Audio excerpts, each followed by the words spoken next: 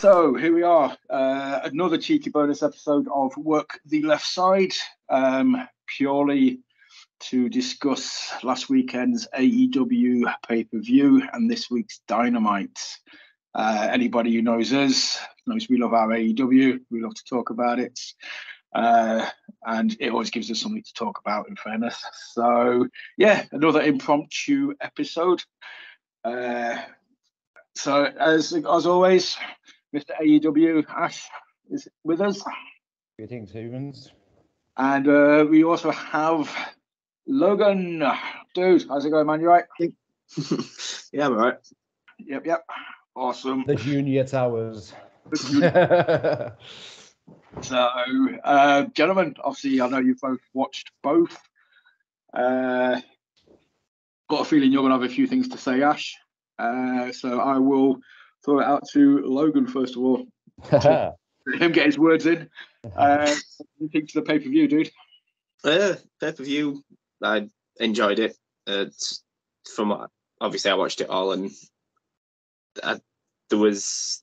I personally don't think there was that many bad matches. I mean, was- there was obviously some It was zero. better than others, but there weren't any bad matches. And I think the zero, the way they kicked off in the zero hour was probably the best way they could have done with that six man. I Mhm. think it was. I don't know if you two watched the zero hour, if you just went straight into the. I did.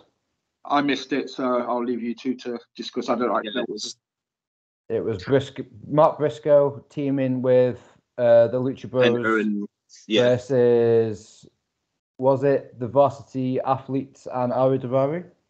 yeah, Yeah. So it was um Ari. Daivari. Um, I'll just call him Brock Lesnar wannabe because I can't remember his flipping name. Um, yeah, that's the one. And the other one, it was them three versus yeah, Mark Briscoe and Lucha Bros, which yeah, I just thought was a absolutely outstanding match. Just being able to watch Mark Briscoe run, I just thought was brilliant because I'm only more recent to him. I've not seen much of him. I saw him the back end before his brother obviously passed when they were doing the stuff with FTR and the dog collar match and that sort of thing. But other than that, didn't really know much about him till now. So yeah, I thought it were it were good. I enjoyed it. Cool. Yep. Um, so was it? Sorry, um, you've mentioned the Brock Lesnar wannabe. That that sounds like Parker Boudreaux. Was Yeah. it him? Was it not? Was it Tony Nese? That other dude and Yeah, it was Tony Nese, Parker, and Ara Ari. Because Parker, Yeah. Parker's not with those guys. Parker's Was it? with It was Josh, Swerve. Josh Woods, wasn't it? Yeah. Oh yeah, it was Josh Woods. Sorry, yeah, sorry. Yeah, yeah, yeah. It's 'cause Uh, he was on recently. That's why it's in my Yeah. just. Mhm. but no, Parker's with uh, Swerve. Isn't he? he was obviously on Rampage. Yeah. Park, Parker was Parker was with Ari Daivari's Trustbusters, but for like all of all of five minutes. So Yeah, I think that's why I, I just kind of got them all yeah. bundled What's up. I kind of forget about all them lot because they're not that interesting to me. So I kind of, Easily done. Um, but but yeah, I'm not bothered about Ari being involved. But Nese and Josh are, are two very, very rounded, uh, technically sorted guys. yeah, I like those guys. Yeah, Yeah. they've gone down a bit with Ari's involvement. If you just kept those two as a team, I'd, I'd like to see them as a tag team going forward. So, uh, any other matches? Yeah. on?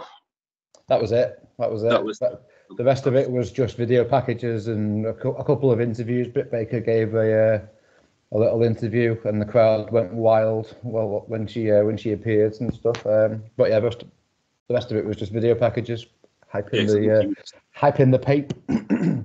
you were just kind of um, hyping the all access that her and Adam are doing. At, I think back end of this month. Uh, back in Oh. yeah, back end of this month. I think it's signed. yeah, a couple of weeks. AEW all access. The cold first match back, as we discussed last week. Indeed, yeah. Uh, I'm not, right, I'm not sure whether it's next week or the week after or whatever it is. Looking forward to It's, it. up- it's coming up basically. what was the first match of the pay for you? I'm struggling to remember. Oh, Jericho's. Jericho Starks, yeah. So this was one of the matches we had down as why I, I had down as being not overly emotionally involved in. I knew it would be a good match, same as the Christian Cage Jungle Boy. Um, I Mhm. just really it pained me to say because it was a Starks match, but and a Jericho match. You know, Jericho's a goat. Uh, but yeah, again, it was it was a good match. Thoroughly enjoyed it. Just wasn't overly emotionally involved in it. Yeah.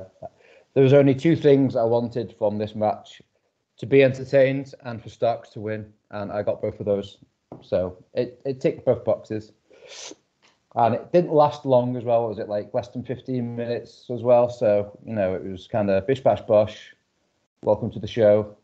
Just- Yeah. Sure. yeah. Like you like- You enjoy this one? Yeah, I enjoyed it, and like Ash said, it with it being only like a 15, 10, 15 minute match, I think that's what you want from a starting, from what you want of the match that's opening a pay per view. You don't want it to like run too long, but you don't want it to be, you know, sort of like done and dusted. You want it to have a bit of time for them to work off each other and Get the stuff in. get stuff in, and yeah. which I mean, I think they both did perfectly. To be honest, I think they both got in what they needed to. Eh, it advanced the storyline between Starks and JAS. So Yeah. it literally did everything it needed to. Yeah, drew it drew it to a con- to a conclusion as well. So that, that was another thing that I wanted. I wanted this feud to be like drawn to a conclusion because it felt, feels like it's gone on for quite a while. Uh, Yeah. and so, so that ticked another box. That's one thing. That's what a later match failed to tick. Oh, I thought it ticked until I watched Dynamite this week, and then it unticked it. Yeah, so- for sure. Yeah, um, because I was, I'm quite happy for that feud to be done and dusted, but it appears to be ongoing. Um, after this match, then what was it? It was the final burial between Jack Perry and Christian Cage, which was basically just Undertaker versus um, HBK in a casket match. Yeah. if, if you if you paid attention if you paid attention to the uh, to the attire, we were messaging, we were watching it live and messaging, weren't we? It was they, they were basically you know um, dressed kind of subtly like Undertaker and um, Shawn Michaels with the jeans and the, uh, the the the full black in Christian's case. But uh, yeah, I enjoyed this. It was it was a hell of a lot. I didn't expect it to not be good, if you know what I mean. But again, not the the the the emotional um, involvement wasn't quite as much as it could have been. But like I, I thought this was ma- this match was really well worked and really well done, and I enjoyed it. Yeah, I I, I liked it. I thought, yeah, it ticked all the boxes. Um, we knew it was going to be a good match. We said on the episode last week it was going to be a good match. It was just tainted through Christian's injury that it kind of went on longer than it should have been. If this match had been two months ago when it was scheduled, well, I would have been hyped for it. The emotion was at its peak Mm, Done. there. Um, funny. done and dusted now. Jungle Boy, as we said, is now Jungle Man. Uh, he's leveled up. Yeah, for sure. Be interesting to see who, who both guys feud with next. Yes. Yeah. Uh, again, the match we don't work well on for too long because there were, there were bigger things on this pay per view, which I think Mhm. is coming up next. Was my uh, first real emotional investment. It's the trios match next, if I believe. It Yes. was indeed. So it was the trios titles, the Elite versus House of Black, and holy shit, this was amazing. I knew it was going to be amazing, and it just had a big match feel. And it also had a big match feel within the match because when Kenny and Malachi Black were in that ring together, it was just like, damn, this needs to be like a world title Yeah. feud at some at some point on a big pay per view. Like, wow! Like I got goosebumps just watch. They weren't, they weren't even doing anything. They just stood there, and I got goosebumps just looking at looking at the screen, and I was yeah, so cool. The match was awesome, and the um, the ending was tremendous, and we got the uh, the result we both hoped for. Fucking two right. This is this was such a good match. One of my matches of the night. Yep, definitely. Easily. You enjoyed it? Yeah, I enjoyed it. Like I said, I think Ash pretty much said it all. It was it was exactly what everyone wanted it to be. It's what it needed to be. I mean, that spot where Kenny and Malachi were just sat, they were literally sat staring at each other. I was just like, wow.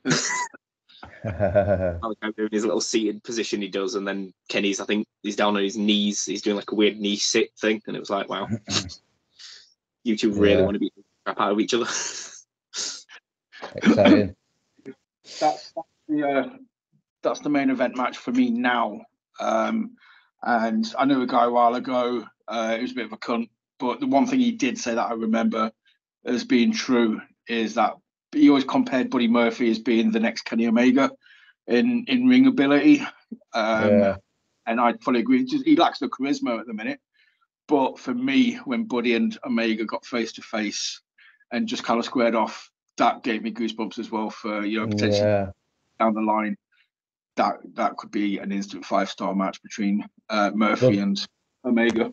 Well, Buddy, Buddy can go, dude. Like he's really, really good, and it's probably a good thing that he's in so in a in a stable with someone.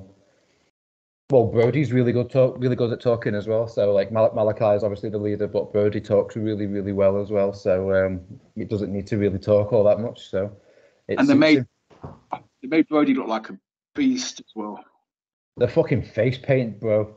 Seriously, their entrance. How good was their entrance, Julia, with like the the sheet and the lights, and then they walk up to it and they look like twenty feet tall. And ah, fantastic. the presentation was so good. I'm a big House of Black mark, obviously. So uh, yeah, I so had to I had to wait if they lost. I, was, I would have been this close to never watching AEW again. I was Oh. like, that was that. yeah, as bad as it sounds, I don't think they could have. I don't think they would have done that. As bad as I think they made it look like they were gonna because of how bad they had the build up to this match. I think when it comes to this match, I think it was a pretty much guarantee they were going to win it because well they have Yeah. well they have to sort of thing to. It's kind of one of Yeah, those yeah. things in wrestling. They kind of Such annoy all the- the fans by su- such beating is the down art of, of pro everyone wants. wrestling. All of a sudden, it's like, oh, they've they've won. wow, Yeah. Yeah, sort of a, yeah. we actually believe in these teams. So There was that, but you never kind of. I don't want to sound like a, a young Bucks hater or Kenny hater or anything, but you also don't want to put it past them, as in like just be like, no, we've only just got the titles back. Let us hold them for a little bit longer, even though it makes sense for House of Black to get them. You know, well, obviously, Bucks and Omega know the business. They fully knew that the House of Black needed the titles, deserved the titles. So yeah, Oh yes. They look- so uh, easily, easily match of the night so far. Um, I'm glad you said so far. yeah. yeah. This, this was tremendous though. Like I was absolutely on the edge of my seat watching this. It's great. presentation. But Julia Hart even feels like you know a deal. She's she's involved when she needs to be involved. They're not using her in any sort of weird or wacky way. Um, just does what she needs to do. She's an asset to the team, kind of thing, and looks the part as well, which is absolutely banging. So yeah, hundred percent. Like a little, uh, like a little witch. Yeah. Witch, witchy vibes. Nailing Yeah, the look. Good stuff. outfit, the costumes, it's just yeah, it's just awesome. House of Black is easily the best trio in in AEW in wrestling for me at the minute. In wrestling, yeah, for sure. There's not many come close. Mystique, aesthetic, capability, potential. It's all there. That's it. It's not like it's all substance, no style, or style over substance. It's just it, they are 100% across the board. Tick all the boxes. Entrance, appearance, ability, promo, charisma. It, yeah, they're they're like the they're Lex Luger, man. They're, they're the total package. yes, Uh, absolutely. What came after? What had the what had the the ordeal or the drama of trying to follow this match? It was the women's championship match. Um, so Ruby Soho versus Saraya versus Jamie Hayter. Um, and it was it was fine. It was uh, obviously it followed a big match where that I was like literally on the edge of my seat. Um, and it was a good match. It was a good match. There was no no issues with it at all. And um, the what we predicted happened. Hayter got the win. Soho ate the pin. Uh, but then we had a little little Heel- turn afterwards, didn't we? Which I thought was quite cool. Yeah, It was suggested by the colour of um, Ruby's hair because Ruby's hair was green, and obviously Storm and Saraya came out wearing green. So I did think to myself, could this be something? And then didn't verbalise it, but then it ended up being something. So yeah, I'm, Okay. I'm all So, for it. I'm all for this. Yep, uh, Logs, I know you're a massive uh, unhater of hater. Uh, So you enjoyed it? I don't hate her. I'm a, I'm annoyed. At, I'm more, annoyed at myself more than anything. But, Oh, yeah, unhater of hater. yeah, I, I don't I don't hate her at all. Like she's one of my favorite. Yeah. Uh, Uh, she's uh, yeah, that match was just. I couldn't think of a better three to just let go and go at each other with. I mean, obviously, when you look at it, I think I could be wrong, but I think Jamie's the least experienced out of the three of them. I Yeah. want to. So yeah, it's having so yeah. it's kind of like a boost for Jamie as well because it gets her experience with two wrestlers of obviously Saraya and Ruby's caliber. no, definitely. I think uh, Jamie's only like four or something, dude. So Yeah, um, that was- she's young. Obviously, Saraya's not much older. She's only 26, but she's been wrestling since she was 14. Yeah. 12 year veteran at the and Ruby's probably yeah been around for like 10 plus years. s- as well. yeah, Yeah, for yeah, sure. it a good match. It it worked well. They all worked well together, and it just yeah, it was just phenomenal. I really enjoyed it. Yeah. And And I think I think I think the heel t- the heel turn. Sorry, dude. Uh, I think the heel turn was um, very much needed for Ruby because um, she's kind of just felt there for a little while rather than doing something, and to give her something, especially with like a, a main main centerpiece kind of storyline in the women's division. Um, give her some something to do there is is really cool. It's good to see, and I've got to say it's raised my interest from like down here to like way up here. Just just having it, just having Ruby, uh, switch allegiances or you know choose allegiances rather. Uh, so yeah, I'm happy. I mean, I said last week on the on the hype show, you got to, when you with a wrestler like Ruby, it goes one way or the other. If she hasn't got a storyline or something to get her teeth into, it's very easy to kind of forget about her. But if you give her something to get into, she's up there. She's highly entertaining. She's very good at a character. Uh, she does what she does, and now she's got something to sink her teeth into. She will be key on TV, kind of thing. When she appears on TV, as seen on Dynamite, which we'll discuss, you know, it, it gets your attention. You want to see what she's doing. Um, Yeah. see, just to jump forward to Dynamite with uh, Willow's involvement now as well. That gives another side angle, a side feud. Uh, Yeah. that out a little bit. Obviously, Yeah. because of their history, because they were a tag team for a month or so, that gives Ruby extra uh, fat to chew, basically. Yeah, all all for this. Happy days. And Saraya looks like she's getting back to where she was. She looks solid in the ring. Um, yeah, you know, I've always been a massive fan of Paige Saraya, whatever you want to call her. And uh, yeah, she seems to. Uh, we said when she made a return, not to expect much. You know, ring rust. She's been out for years, kind of thing. Uh, but the more that I'm seeing her again now, she seems to be getting back to, you know, the Paige of old days. Yeah. Yeah, she's got she's got skills, man. She can go, but it's been quite a long time, so it's good to see her shaking the rust off and getting back in the groove of it. Yeah. She's good. Yeah. She's good, man. again, another good match. Um, like I said, I don't think it was a bad match on this one. There were three star matches. I don't, I don't want to do the whole star thing, but I can't think of a better way to kind of describe a level of quality. So yeah, there was three star matches, four star matches, star matches on this pay per view. So there was no bad ones, and No, this, none. you know, in the enjoyable area. So was Yeah. it the tag match next? It was the Texas Death Match next. I mean, I just want to get a tag match out of the way. Damn it. Go on. yeah, the uh, Texas Death Match. I've got to say again, emotional kind of wasn't really there. Brutal matches for me are kind of hit and miss. I'm not always into them, and you know, pissing blood and barbed wire and all that kind of stuff. I, I, I tend to watch them with like a persistent wince on my face and through my hands. Exactly, yeah, exactly. but like, I've got to say, this was really well paced, really well worked, and both guys just gave everything. Um, fucking hell, it was it was carnage. and I even gave this like a so the trios title's got a star on my notes. This match got a star on my notes as well, just because it was just I felt like it was really, really, really well done. Yeah. Um, yeah. So bravo to both guys. Lopes, how did you feel about the uh, the brutality, the excess, the fingers in bricks? To be honest, I as bad as it sounds, I was smiling all the way through that match. Yeah. I don't know if that makes me a psycho, but if it does, then so be it.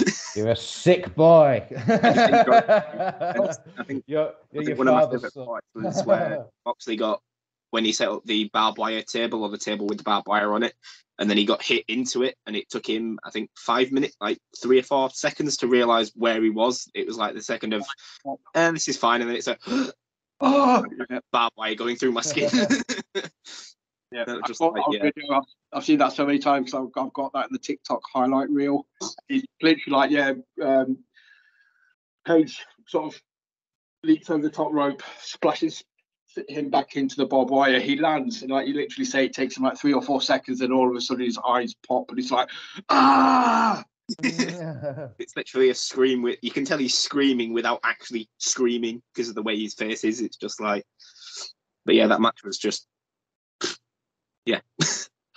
I'm a big gut. extreme. Um, I thought they were going to do it when he wrapped his arm in barbed wire. It was nice to sort of see some just standard clotheslines with the barbed Yeah. wire around Page's hands. But me being the sick bastard that I probably was, I was like, yes, we're going to get a buckshot barbed wire lariat. my bookshot. Yeah, yeah, a bloody barbed wire shot. It just it didn't happen. I'd be like, oh, that would have been an awesome moment. But Yeah. You know, that's not taking anything away from it. We got so much in this match. The guys gave 110. percent uh, Steve Bond went to the goddamn bricks. Just see fingers in bricks and getting stomped. I was like, what? I've never seen that in a death match. So anytime you see something you haven't seen before, you've got to give it a massive fucking tick. Yeah. the, I thought the, the- the- I thought the- midsection jumped off. Yeah, I thought the end, thought the ending was really well done as well with the chain. Yeah. Like, how the fuck do you beat Moxley, who just seems to be like this un- unbeatable machine? That's how you beat Moxley. Now we know how. Strangle. What did you say, Logan? I. No, I was just saying about oh, the um, hangman and the barbed wire when he wrapped it around his midsection and then did the I was like, moonsault thing, and it's like yeah, you crazy son of a. yeah, crazy people. Um, did you guys see the picture of um, there was a chair uh, wrapped in barbed wire, like stuck in the corner of the ring, and there was like a Yep. big clump of Hangman's hair, just like like a big fucking chunk of Hangman's hair just in the barbed wire. Oh, gruesome. That's bad for us. At least two of us have got long hair, so we know exactly how bad that feels when you get a massive chunk taken out.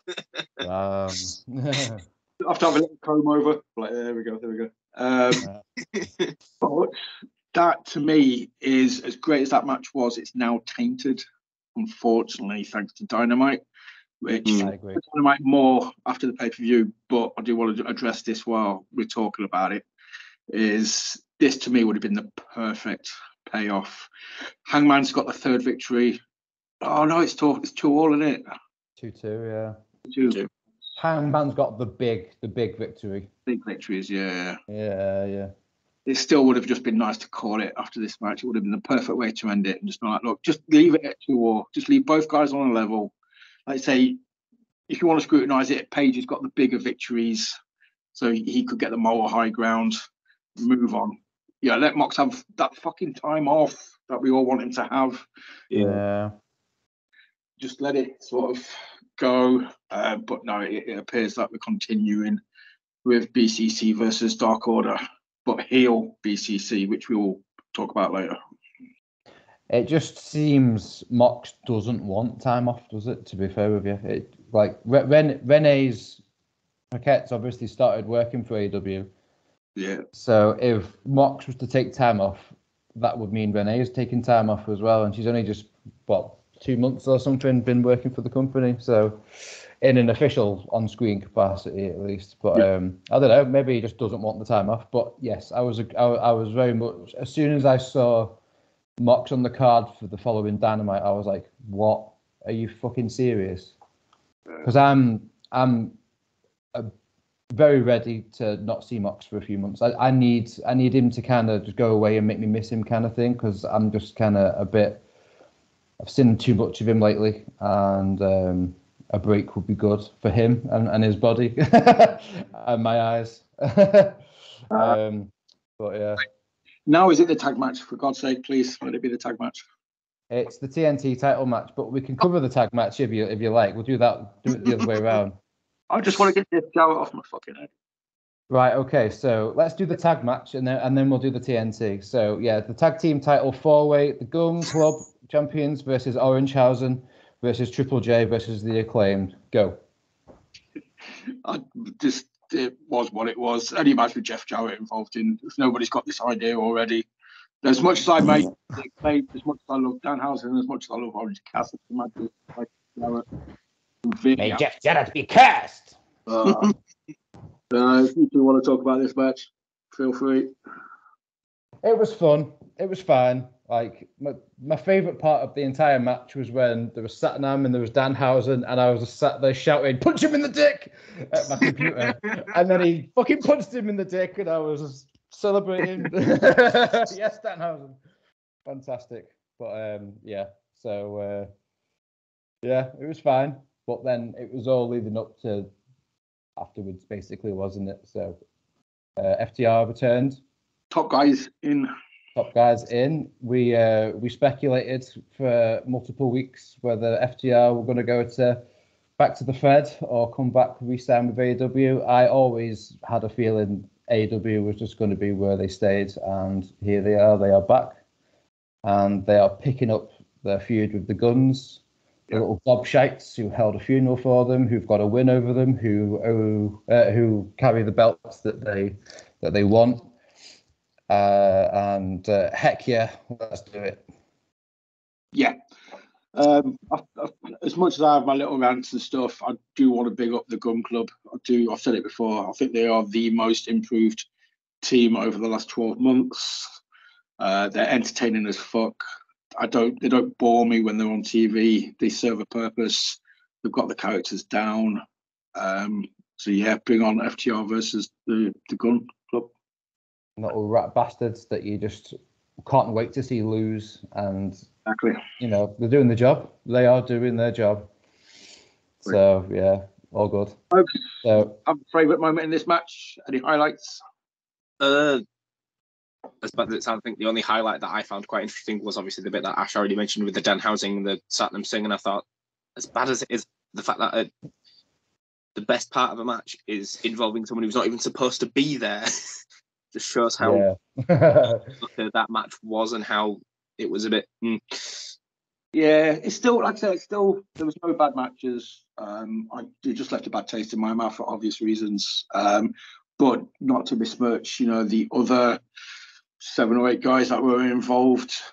You know, everybody did a shift. It's always cool to see Danhausen, Orange Cassidy, Jay Lethal's fucking boss. Love Jay Lethal, which is why I'm so love hate about the whole double J thing at the minute because he's making me not want to see Jay Lethal. Because it's like the guy you like and the guy you hate, and it's like you just can't win. Yeah, that's to slap them together. So it's like, yeah, how to piss people off. We'll just put these two together. And see all yeah. Right, big boy slapping me. Yeah. so TNT title match: Samoa Joe versus Wardlow. Uh, what do you guys want to take it first? You get first one dibs on this one. Yeah, it um, was. It, it, oh, sorry. you said loads. I'm just trying to figure out how I can put it into words. yeah, it's a bit crackly on my end, so I'm missing words here and there. So if I, if I, if I try and interject, excuse no, me. That's fine. but yeah, no, I I enjoyed it. Like I said, it's well, it's Samoa Joe and Wardlow, so it's just I don't think it can be a bad match slash men slapping meat moment. It's just it did exactly what it needed to do. It played well for storyline purposes, which obviously I know we'll get onto later on, but it yeah, it did exactly what it did. It and it let Joe go off and do what he needs to do on with his other title in the other company. So for me, I think it did everything it had to. There was no Yeah. no complaints really. Yeah. Um, yeah, I mean, we talked about it last week, Ash, where we had Joe down for the victory. hmm So obviously, what's got happening on Dynamite this week, uh, which is something else I want to address. Uh, where we obviously thought Hobbs was going to be a face, you know, he's come back, so we thought heel versus face. Uh, it made sense for me for Joe to win it um, for the sake of holding the belt a bit longer, because we didn't want to see Wardlow win and then drop it four days later. Three days later, yeah. yeah. Mm. So, um, but yeah, banging match. Let's say both guys start hitting the ground running, which is which you want in a match like this when they've invested so much emotional storytelling into the match. You don't want two guys just to square off. You want the guy who's disrespected the other guy's memory of his father to get smacked in the face right away, uh, which they did. Wardlow went in, started grounding and pounding, and literally went from there. Yep. Wardlow's so agile, like doing the thing, doing the whisper in the wind, like Jeff Hardy, and like doing the swanton again, like Jeff Hardy. But the, the guy, the guy's majestic, man. It just is. He's got everything. the guy of his size, it's just yeah, like sort of say, you can see why other companies are quite high up on him because he, he does take he ticks the big man box and he also takes the. uh He's good in the ring as well, and uh if you just drop that silly ass clothesline out of his uh, repartee,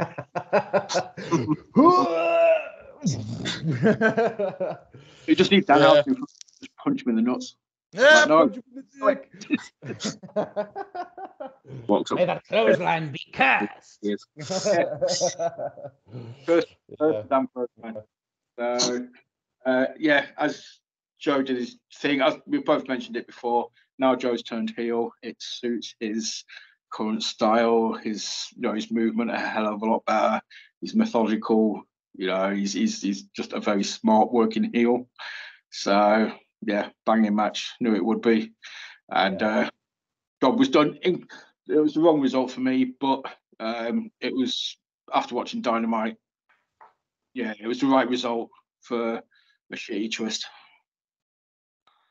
Yeah, it was uh, the end of Dynamite was a bit of a for me, to be honest with you, like the inclusion of um, QT Marshall, um, like don't know, just wasn't all that into it.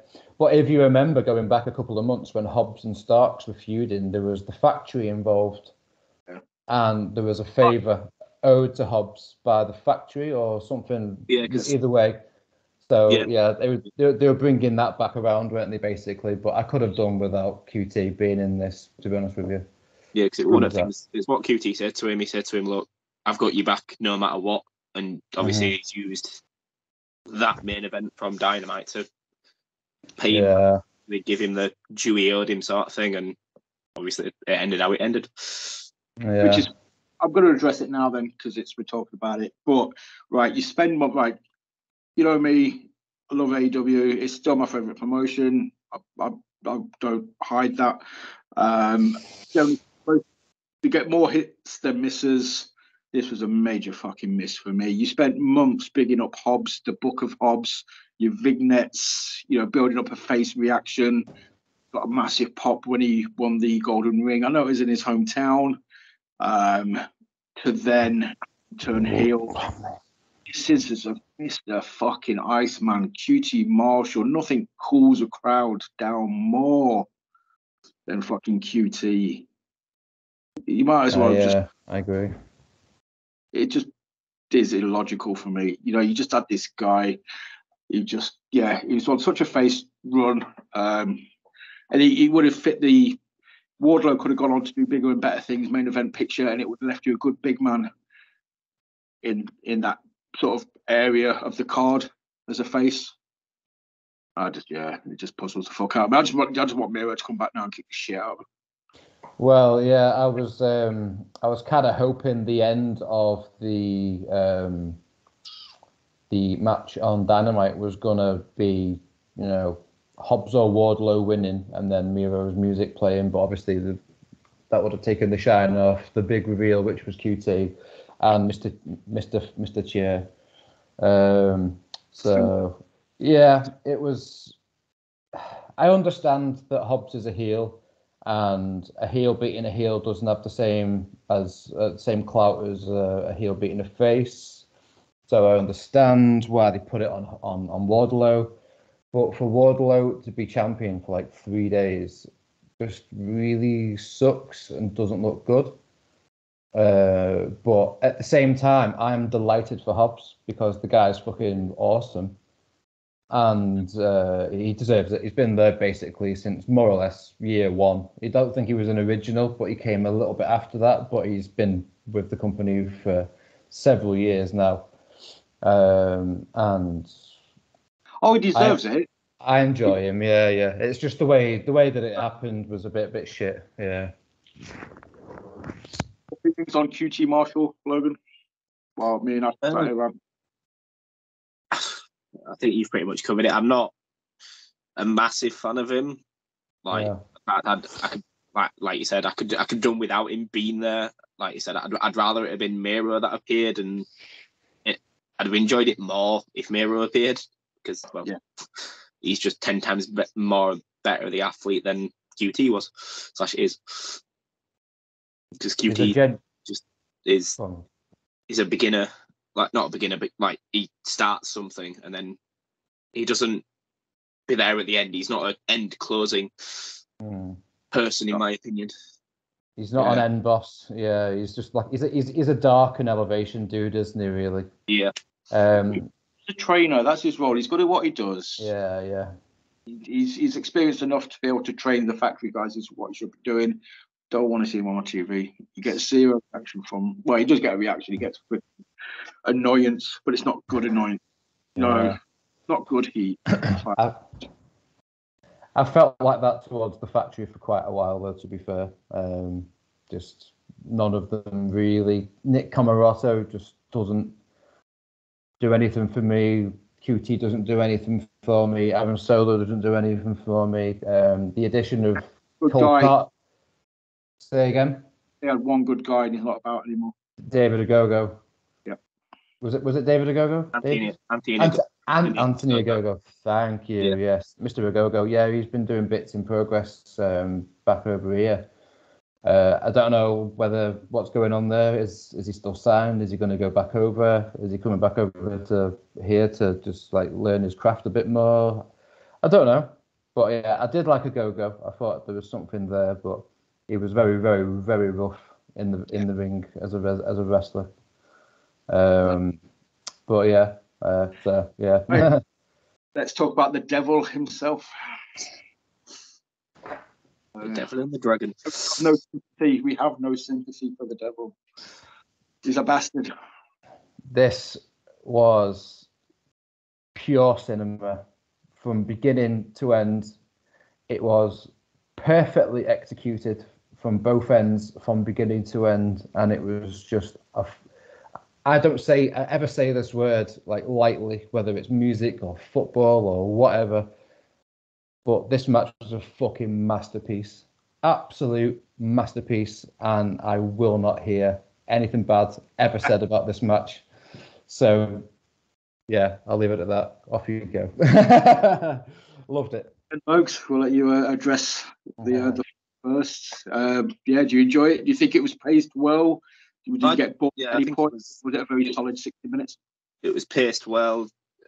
It was even throughout most of it, with obviously there being, I think there were 2 2 for, I think, near enough, I want to say 45 minutes, give or take. Yeah. So it was like the fact that they were able to both get decent shots in and hit the stuff they needed, like the big moves, and then them get out of it and try again. And then they do the opposite where MJF tries to use Bryan's move on him and almost gets him to tap out to his own move, and then he gets a weird adrenaline boost and gets out and continues, and the, yeah, it was just an absolute banging match, and I couldn't think of a better way to end a flipping pay per view than that. Great. And just story story wise as well. When MJF first started going out to get drinks of water, he's like, okay, that's smart. That obviously ties in very close. Well, that tied into the finish. You know, the fact that he'd been going out throughout the match to get these drinks of water, get these bottles of water. You didn't give it a second thought. Or as a, as an opponent, you want to give it a second thought. You would have gone out to grab him, bang, fucking gas cylinder to the head or whatever it was. Yeah. yeah, it was a gas canister because obviously it well it ended and then obviously they restarted it. 'cause Obviously the time limit ran out. They were two two or three three or something. They were tied. Time limit ran out, so it was like right, it's going to sudden death. But MJF I think were knocked out at that point, so that's why they brought in the oxygen tank, which obviously revitalized him. They continued. Then he used the oxygen tank to his advantage to knock Danielson out and then get him to tap out by his own move. I think. Or Oh. some, some, It The took bell that- lock. Yeah. yeah, the, Did tap, they- he did tap, yeah. Yeah, I think he it stopped because he well obviously got knocked out, so he couldn't Yeah. physically tap out because well he was unconscious. That's it. So, so try. There, there had been a few tap outs, aren't there?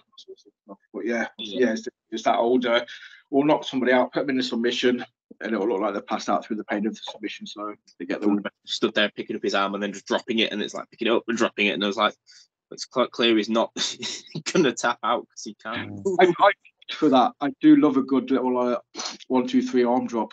Just purely like when you see the third one drop, it very rarely happens. But when you see the see the see the arm drop, even though you know it's happening, it's like, yeah, We had that during um, Wardlow and Joe, didn't we? Forgot to mention. Um, that's how the finish was. I was a bit surprised by that. Sorry, just to go back, but um, yeah, that's that. That was the finish, and it was a bit bit surprising. But uh, yeah, it was. Um, I thought the whole match was. I thought there'd be more periods where they're both just kind of you know taking breathers and stuff like that. But it just seemed to be going and going and going like almost constantly the whole time. Very impressive showing from both guys. Obviously, we all knew Danielson can go for forever by the looks of it. But he's, He- he's would regardless, can't he? yeah, he's, he's, He's he's, done it he's, he's, he's done it with done it with Kenny and Hangman, uh, half hour, sixteen minute matches. Um, but yeah, uh, I, I- like that you pointed out about the MJF going out for like drink breaks and stuff like that, and then obviously then the ref doesn't suspect. Oh, I was just going out for another drink, and then Bosh, like uh, the way MJF for a man of like 26 years of age, he's got like a the head, the brain of like a 50 year old veteran, 40, 50 year old veteran that's just done it all. Little nuances like that, just adding, adding, adding the salt onto the um onto the uh, onto the steak of the match was oh yeah, fantastic, like truly. Yeah. he is a self-professed fan of old school, and you can tell by the way he presents himself. You know, he, he says he watches like all the old AWA stuff. You know, the old sort of uh, Four Horsemen. You know, back in the seventies, the Memphis days, all that kind of stuff. Like old school Jerry Lawler.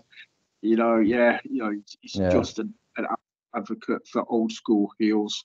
Um, Yeah. Just like I said, he's such an old brain for still a very young wrestler and he's Mhm. only going to get better. You can tell he's a huge Ric Flair fan from even the, the chunks, the way he speaks. Sometimes, if you close your eyes, it sounds like Ric Flair talking. Um, but yeah, that's uh, just another like a reason. I, I- yeah, but we we are. He, MJF is a gift. He just is a gift in every way. Did you guys see the media scrum, I missed it. dude? Was it some Seriously, I see you say something about CM Punk. Like, was he having a dig at Punk or a hint at Punk? So, so the first 20 minutes of the media scrum was MJF just basically bursting into the media room and just laying into Bryan Alvarez and fucking whoever was there, like all the all the media guys, just saying, "I'm the best in the fucking world. I'm the best wrestler in the world, the best pro wrestler." Because obviously he's just tapped out Danielson, and then he's walking with a crutch as well, which is just hilarious. Um, and then he goes and sits behind the desk with blood on his face a towel around his neck, like CM Punk, and then instead of like whatever it was, Punk was it was something from a bakery, wasn't it? Mindy's bakery. He had like a jar of, of pickles. it, it was incredible. So then he's talking, answering a question. He opens the pickles and then takes a bite of a pickle and goes, "Oh my god, that's a fucking good pickle. Anybody want a piece?" he's he's he's just fucking hysterical and he just knows exactly what the character is and he's just so funny. But yeah he he mentioned cm punk by name two times but i felt like the whole sat there with blood towel and then eating something and then bigging up because he picked up the jar and was just like oh whatever it was the the brand of the pickles. Eat these fucking pickles um, I, I feel like the whole thing was just like a very very subtle but not subtle nod to Mr. Mr. Phil Brooks, which um, yeah, but yeah, I um, if you can, it's on YouTube. The media scrum's on YouTube. It's the first twenty minutes. It's just like everything you love about the MJF character, just right there, hilarious. Anyway, Awesome. Can we agree Bryan Danielson is the best wrestler in the world? Without without question. It's just the guy's never puts a foot wrong. As good as obviously MJF is, we spent the last five minutes bigging him up. Um, let's, let's not forget Bryan Danielson, man. The guy's a fucking. He's a treasure as well. You know, hopefully he'll be around for a while. Um, yeah. I know he's got promo. Everybody's speculating what it means. I got- noticed somebody sort of said it probably means he's going to be more attached to Ring of Honor now. Would be possible. surprised if he don't go back to the Ring of Honor brand for a little bit. Oh yeah, he said he's uh, it's time for him to go home or something to that effect, um, which would insinuate Ring of Honor to me, especially after Zack Sabre Jr. on last week's Ring of Honor episode basically called out Danielson, just saying like, um, I'm gonna like do a really bad Zack Sabre Jr. impression. I was like, oh Danielson, I'm the best fucking technical wrestler in the world. um, so that would make sense. Whether it, whether it, it is to to face Zack Sabre Jr. Um, the G1 in Japan has just kicked off, but I don't know whether that's like home for Danielson. So I don't know, but um, I do feel to like I want do to get eyes feel on a like- new brand, yeah. oh, if you want to get eyes on a rejuvenized brand, you have Sabre Junior versus Danielson. I can't wait for that. Everybody, everybody in the wrestling world wants to watch that. I can't If wait for that match.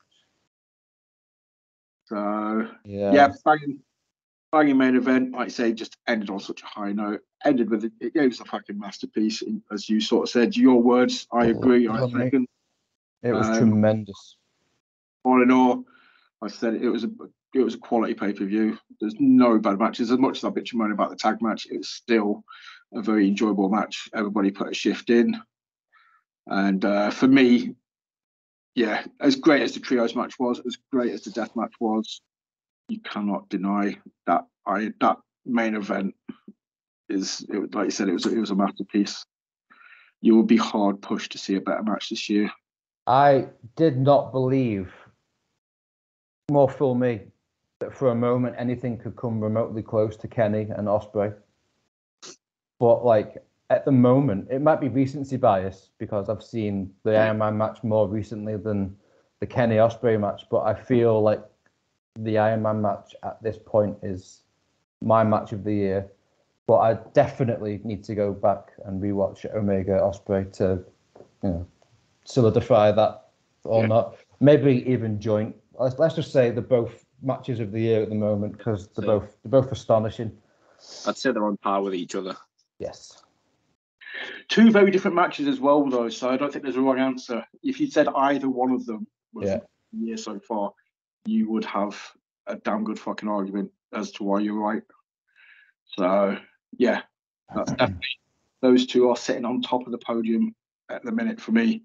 Um, and yeah, we'll see what else comes. Uh, you know, whether we get another Sheamus Walter banger at some point or Yeah, yeah. Cody. I can't see Cody Reigns being a five star match. It might be a five star story match. It won't be a five star wrestling match. It'll be a five star story match. Yeah, I absolutely agree with that. No, we'll see what what what the uh, what the W can do at some point down the line as well. Um, so pay per view, banging, awesome. Um, Dynamite. I I don't think there's been a bad episode of Dynamite. There's just been very varying degrees of entertainment or good or above average. Um, there's never been a bad episode. This was very this was far from a bad episode. It had lots of good bits in it. Yeah. Leave a bad taste, which we discussed due to the end of the episode. hmm It started with Orange Cassidy, who seems to be Mr. Opening Match on Dynamite at the minute. Uh, Yeah. in an absolute it- it's Cassidy's fucking awesome, man. You give Cassidy a singles match, you put him in the ring with Jay Lethal, that's 20 minutes of fucking gold. I enjoyed the shit out of this match. It must be honest. Must be honest. Um, neither guy can do a foot wrong, in my opinion. Two of the best about doing what they do. Hell yeah. To be honest with you, this was the first match, the first title defense of Cassidy's uh, now international championship, not the All Atlantic anymore. So it's the international title that he holds. This was the first match I saw and thought Lethal could win here Yeah. because Lethal kind of needs something because this little stable that he's got going on is shit. and um, he's one of the best about, so you know what I mean. Um, but I, I'm I'm more than happy for Cassidy to have gotten the win because he's great. Love the Yep. guy. He's been doing the same the same gimmick since AW's inception, and everybody still loves the bones of him. So that tells you everything. Just keeps getting better, though, that's why. Yeah. Uh, Lokes, what's, what's your thoughts on this match? You enjoy this match? You uh, you reckon that Cassidy is having banger after banger? yeah, it's like it, I think personally, I think it's hard for him not to have banger after banger because of the way he wrestles, like his unique approach to wrestling. Or Yes. it's just it's unorthodox. It's never been seen before. So for him to, he can't go. He can't put a foot wrong with the way he does what he does. yeah. The guy could have a match with fresh air and make it good. Uh, but it was just a, it, was, it was again it was the storytelling in this. It was like Lethal working on Cassidy's leg, uh, Cassidy working on Lethal's arm. When fucking Lethal went for the lethal injection, and his fucking arm went. I was like, oh shit, Yeah. awesome! Yeah. Just a little little slip of an arm, and he just fell. But you just felt like, ah, son of a bitch. Yeah. Good stuff. Uh, but then obviously it got ruined. Uh, no, I won't talk about that. Yeah, the um so he's got a title match against Double J next week, hasn't he? The first title defense of the international since the change of name. So Yeah. um all I want Shazam! Yeah, for Shazam, yeah, it's, it's funny how they've tied that in together. But um, that looks like a good movie, though. To be fair, the first one, this one. That's tainted for me as well, twats. What's that? Sorry, That- That's tainted for me now as well, the twats. what Shazam? Yeah. I see Shazam, I'm going to see fucking Double J. Yeah, like just imagine like the big villain in whatever whatever whatever the villain is in Shazam. Just see him like with a white slick back longish hair and a, a little handle. The red Oh, guitar. I'm going to be fuming. Don't piss me off. Um, yeah. So, should we move on to the next segment, Yep. which was a promo from Ricky Starks? I can't remember exactly what he was saying, but it basically was interrupted by the Bullet Club theme on the on the Tron and the abs- uh, and the original Bullet Club theme to effing sweet, which for a moment had me thinking, is this Jay fucking White about to show up? Uh, and then it was Juice Robinson from behind. Um, a lot of people have been kind of like complaining about this, but to me, this is fun. This is going to be a fun feud. Going to have a couple of good matches, and it's going to be a, a nice placeholder maybe for Starks. Maybe I'm underselling Juice Robinson, but it'll be a nice um, placeholder for Starks now for moving on to his double or nothing feud, perhaps. Definitely, and it's Juice Robinson versus Ricky Starks, man. How, how can anyone complain about that? You're going to get some really good matches. Rock hard. You know, Starks is coming off a victory against Jericho. That automatically gives credibility to Robinson. The fact that Starks is feuding with Robinson, you know, it's yeah. I, I I don't see a downside to this. yeah, since he's come in, he's not really done a lot of anything. Rob Juice Robinson. So this this feud's going to be good. I'm looking forward to it personally. Like you, like Stu, uh, obviously you've seen Robinson a few times in AEW. Um, you're looking forward to hopefully just getting Robinson a bit more of a highlight. You'll get to see more of what he can do. Oh yeah, no, I look, I look, I'm looking forward to it because, like you said, it, it gives Ricky Stark something else to focus on now that he's done with the done with the JAS. So it gives him someone else to focus on and build momentum and chemistry and whatnot with, and give us a good storyline. And like it could potentially lead into other Bullet Club members appearing potentially, because I think there's there's a couple that are free agents of them. I think there's two that I'm aware of that are free agents, and obviously one of them is Jay White and Hikuleo, I think he's called. I think he's another one that's free Oh, at the oh, yeah. moment. So, Yeah. I- so ah. potential for more people to show up and But for me, Starks, it could be a recruitment thing as well. I don't know Starks is face at the minute, but Starks' character and everything would suit the, the Bullet Club, you know, to a T. You know, if they ever want to turn Starks heel, put a t-shirt on him, man. You're going to sell fucking merchandise. That's a It'd good call, actually. I think it's probably too soon to turn him heel again. Yeah. But uh, that's a fucking good idea, really. Down the line, man. But I, I and feel people have been speculating who the new leader of Bullet Club's going to be since Jay White appears like he's going to WWE. They've In my- out this In my in opinion, I think Ryan posted it in the group yesterday. Um, somebody attacked uh, Jay from behind. David Finlay, who used to be in a tag team with Juice Robinson, FinJuice. So David Finlay, the son of Fit Finlay. Yes. Um, So, So yeah, he's debuted a new look, new theme, new attire, just new swagger. Seems like he's going to be the new Gaijin. Yeah. So cool, man. Good for him. Yep. yeah, definitely good for him. You know, he's uh, his dad was a fucking legend. His dad was awesome. Uh, yeah, Dave. You've seen him on AEW a couple of times, I think. So that'll be nice. You know, if we can kind of uh, keep that connection, have him turn up at Forbidden Door, build it up a little bit.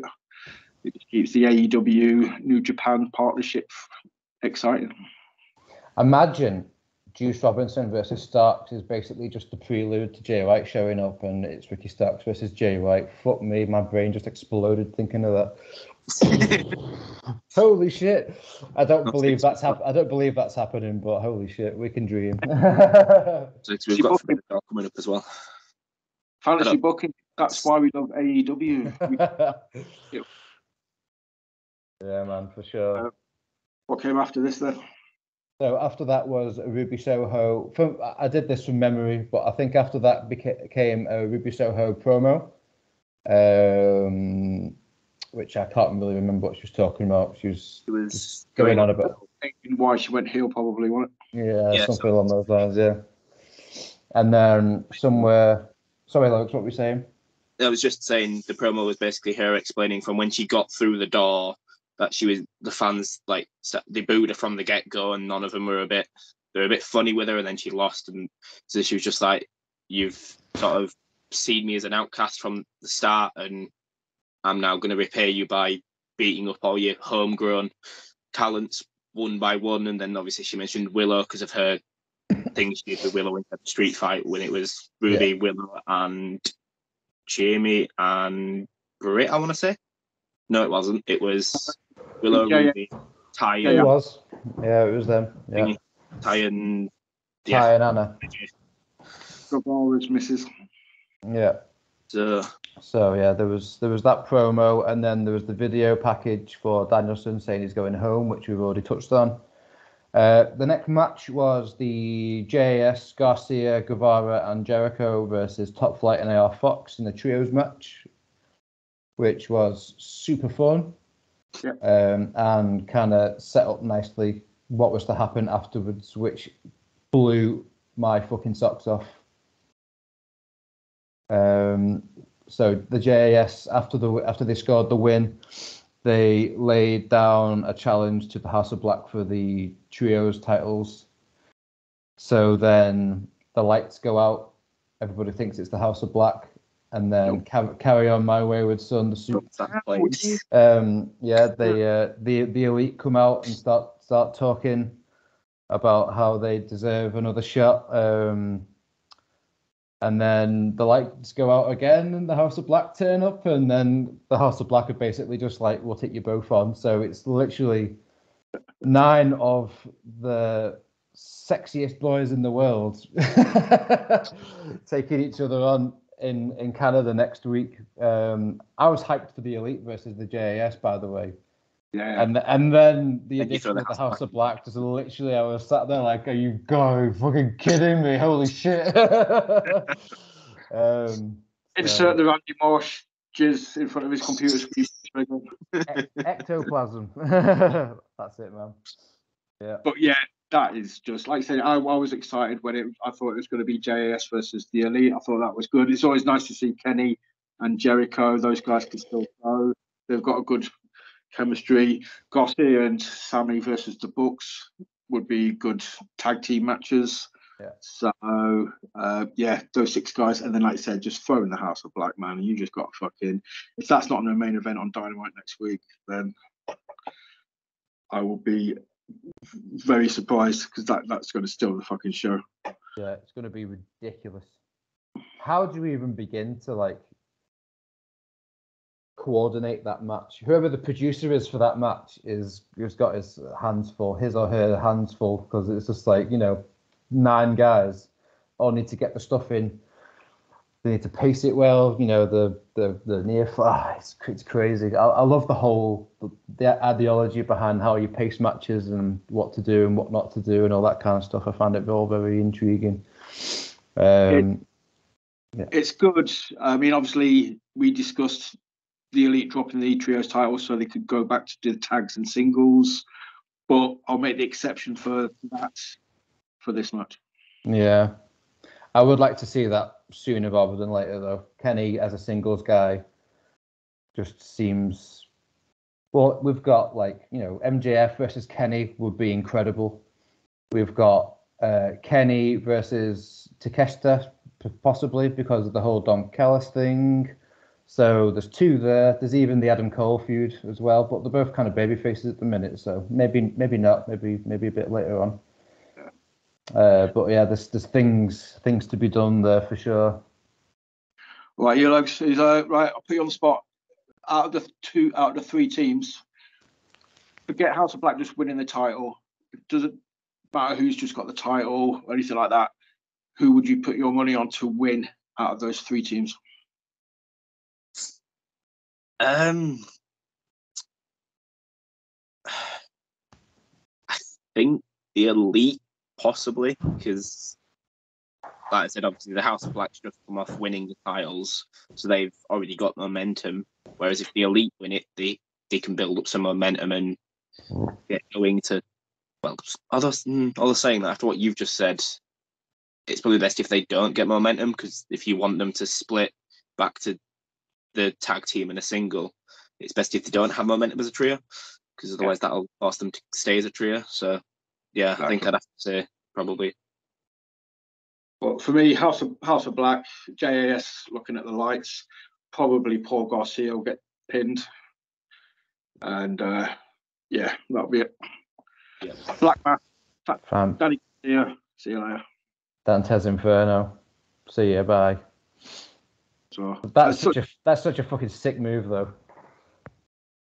Imagine, uh, imagine, imagine the trust you need to have in those guys to do that to you without like literally breaking your face Yeah. and your neck. well, uh, respect, man. Well, uh, they know what they're doing. So, uh, was it the Ruby versus I want to say Sky Blue after this?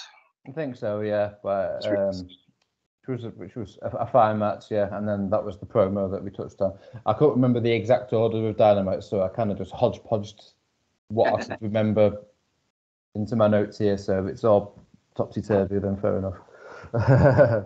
Yeah, again, the Ruby story, you know, cementing the heel, um, obviously cementing even further with the kicking that Willow took after the match hmm Yeah, and getting sprayed, and uh, Saraya, Toni, and Ruby standing tall. yeah, man. Yeah, Ruby's inclusion's massive positive for me, and it's made me a hell of a lot more um, uh, positive towards the whole thing because I just wasn't vibing it at all for the first uh, first first few weeks of just them two. But yeah, It all good. Um, so was it the Cesaro, sorry, Claudio and Mox versus Dark Order next? It was, yeah. Um, which I was surprised to see on the card, especially Mox's inclusion. Uh, always happy to see Dark Order on, on Dynamite. I feel like they've been massively just kind of forgotten about or under underutilized for absolutely ages. They just seem to lose all the time, which happened here, to be fair. But um, yeah, it's just good to see them on TV. But yeah, uh, I was a little bit like, really, at the end of this match with the whole reveal at the end. Um, the BCC got the win, and then they continued to lay into the Dark Order members as they were on the deck, basically turning heel of what it appears to be.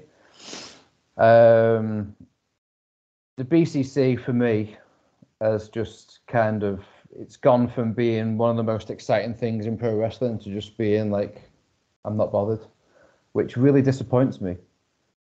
Like I'm just not bothered. I'm not bothered. I'm not bothered at all. Like like I like I like all the guys, but as a as a as a collective, I'm I'm just kind of not there yet. So I'm gonna see how the heel turn changes things, and yeah, What about you, lads? BCC fan? Do you want to see him as heels? Are you interested to sort of see if this adds another dynamic to the group? Uh, yeah, I'm a fan of them. I, I like them, and I think I, th- they work well as heels. So I think it'll be interesting to see where they go with the heel turn mm, down the line. I think personally, I think with obviously the situation that uh, are and Claudio are in, I think it's best if they leave it for Ring of Honor at the moment. Personally, because obviously you as the pure and Claudio's world, so it makes sense for them to focus yeah, on over there rather than on AEW. Not saying I don't want them on AEW. I'm just saying I think it'd be better if they focus over there for a little bit and, and then agree. maybe- Uh, Let's if you want mo- eyes, if you want eyes on Ring of Honor, have them on Ring of Honor. Don't have them on both shows. Take them away from AEW for a little bit. Make if you want to see them, you've got to watch a uh, Ring of Honor kind of thing. If you want to see the Ring of Honor World Champion, you watch Ring of Honor kind of thing. I'm Um, The exception 100%. in that group, I, I may be way off the mark here, but my first thought was that's two more former W guys turning heel. It was, yeah. So I don't know if it's intentional if it's just bad timing and the fact that you've had Storm Saraya and Ruby turn heel. Uh, now you've had Mox and Claudio turning heel. Um, yeah, it just kind of seems against the Dark Order. You know, everybody loves the underdogs there, AEW originals. You know, so it just it might just be coincidence. It might just be bad timing. But to me, it just seemed too close to the Saraya, Ruby, Toni situation. Yeah, true that. And then, of course, we had uh, Hangman coming out to defend his Dark Order, Dark Order buddies, which still is continuing the fucking Mox Hangman feud even after four matches. Um, which I, I just don't want to see it anymore. I'd, I'd, I'd much rather see Hangman go off and do something else completely fresh. And whether the BCC want to turn heel or not, that's fine. Just have them feud with maybe somebody else. But I, that said, like I say, I, uh, I I'm I am happy the Dark Order are in a program like on Yeah. TV. I am happy for that, but you know, it's just elements that I'm just not completely into. Yeah. Yeah. So yeah. And then it was the, the pretty much the main event, wasn't it? Yeah, I believe so. Yeah, which was fine. I, I like how they lent into the. Uh, obviously, Wardlow had his car broken into and all his his gear and his his title belt uh, belt title belt um, stolen, um, which sucks big time for that to happen to anybody. Um, but yeah, they they lent into it in the match, didn't they? Basically, started in the back and then within like a minute they were like power bombing each other or whatever it was on on a car, slamming each other into a car and that. So that was um, it was it was cool how they uh, included that. Uh, but the match was fine. Just the ending sucked. yeah, banging match. Uh, you know, fucking Swanton through the table on the outside by Wardlow. Um, fucking spine on the pine by Hobbs, which still looks boss. You know, there's very few people at the minute that can do spine buster as good as Hobbs, in my opinion. Got the spine best spine buster in the business at the moment, in my opinion. Uh, Lugs, what do you think to the main event? Yeah, like I said, I I enjoyed it. Obviously, minus the obviously the way it ended, but I think the match itself just kind of made up for that a little bit. If you you can kind of forget about how it ended when you look at what went on during, with obviously yeah the getting power bombed on the car and the swanton thing through the table and yeah it was just bagging match tainted by questionable ending. Mm, it finished Pretty much put the start right up for me. It was a it was a very enjoyable episode. There's lots of quality bits in there. It was just tainted by a fucking shitty ending. mm, yeah, and that's unfortunate. But uh, again, um, made up for Will Hobbs. Yeah. the guy, the guy, uh, the guy's ace, and you know deserves his flowers and his his title reign. Hopefully now this is a fairly long reign because as people have joked about in comment sections on social media a fair bit, people have been calling it the twenty four the new twenty four seven title. You know, just like you know, poking fun, you know, brain dead idiots. But it, it, that is that is a funny comparison.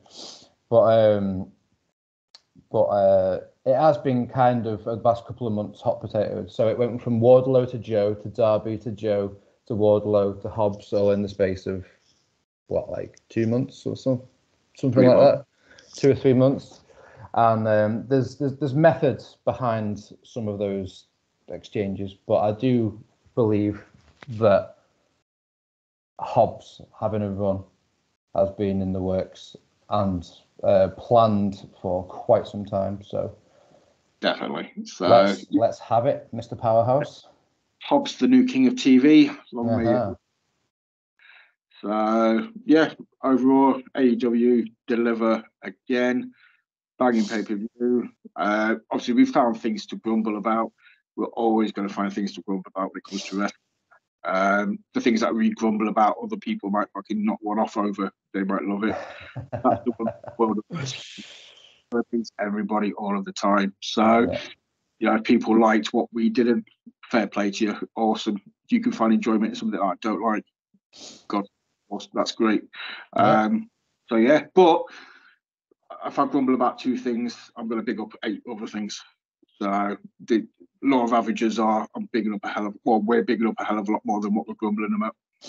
Hundred percent, yeah. Well, um, the pay per view was so fucking good that I had high expectations for this episode of Dynamite, and whereas it was good, it could have been better.